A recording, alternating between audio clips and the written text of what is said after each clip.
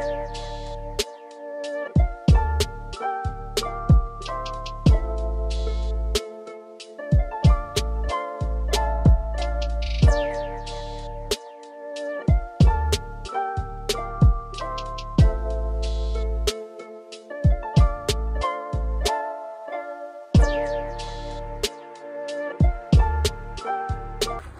Comigo, quebrada. Como é que estamos, sua? Eu tô rindo mais um corre da vida sinistra que nos espera. E hoje, rapaziada, sabe o que eu vim trazer pra nós? Mais um videozinho sobre. Vocês sabem que eu sou louco, eu sou retardado, né? E quando eu fico sozinho em casa, o bagulho piora. Então, tipo, eu tive uma ideia que eu já tinha faz tempo de mostrar pra vocês como minha cidade é um cemitério a céu aberto. Então, mano, o vídeo vai ser uma bosta. E antes de vocês começarem a ver o vídeo, eu preciso explicar um negócio pra vocês que nem eu sei, que eu aprendi hoje. Aqui na Inglaterra eles criaram uma lei que, se não me engano, foi em 1882, 81 eu acho que foi em 82. Foi a lei de 1882, eu não sei. Mas é uma lei que eles protegem os edifícios que são parte da história da Inglaterra. E depois da Segunda Guerra Mundial, eles começaram a separar esses lugares por níveis, tipo A, B e C, ou 1, 2 e 3. E no nível 1 eles colocaram, tipo, o Palácio de Buckingham, Palácio Westminster, Tower Bridge, entre outros. Tipo, tem muito lugar. Porque esses aí são lugares que são classificados como excepcionalmente muito interessantes. No nível 2 eles colocaram lugares que são interessantes, mas não tanto quanto o primeiro. E no nível nível 3 são lugares interessantes, muito interessantes, obviamente, mas não são tão interessantes quanto o segundo e o primeiro. Mas mesmo assim são mais interessantes que muito das coisas aqui da Inglaterra. Mas beleza, né, rapaziada? Agora que eu já falei pra cacete, eu vou mostrar pra vocês o primeiro lugar que eu considero um cemitério aberto aqui na Inglaterra. Considero não, né? É um cemitério aberto. Não sou eu, considero nada.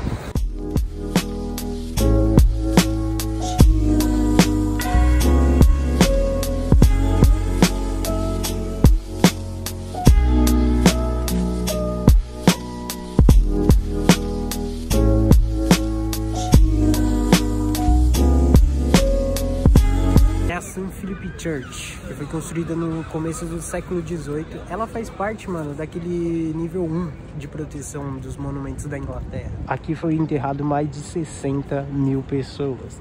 60 fucking mil pessoas só no ano de 1800. Mas ninguém se preocupa mais porque a partir de 1858 eles pararam de enterrar as pessoas, porque segundo eles isso era prejudicial para a saúde do lugar, das pessoas. Ora, ora, ora, parece que eles tinham Sherlock Holmes aqui. E desde então ninguém mais é enterrado aqui. Isso daqui virou uma praça com um cemitério e uma igreja.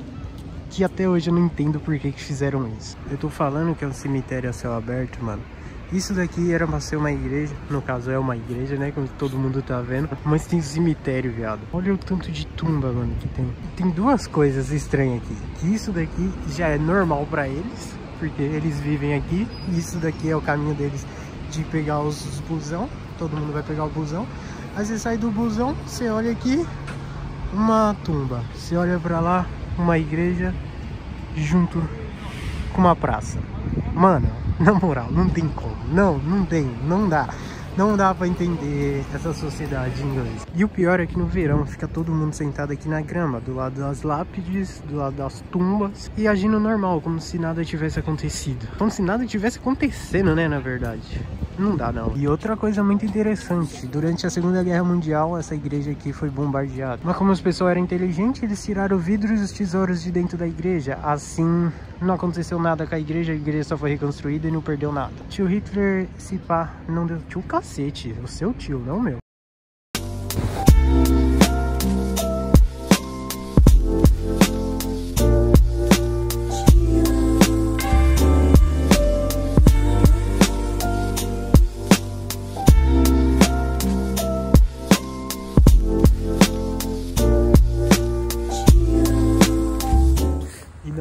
Distante da primeira igreja, da primeira catedral, a gente está agora na São Paulo Church, que foi construída antes da catedral e não é a principal. Eu não entendo. Mas essa igreja aqui também sofreu ataques da Alemanha. Eu odeio Hitler por causa disso. Mas mesmo assim ela foi reconstruída.